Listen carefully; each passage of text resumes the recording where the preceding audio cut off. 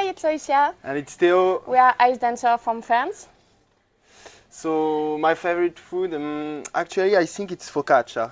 It's an Italian food, and I really like it uh, at the moment. And uh, as a good uh, French girl, my favorite food is cheese.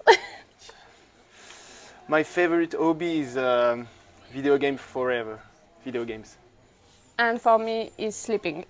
if I was an animal, I would be a, a bear. A bear, because I, I could be always in my cave playing video games.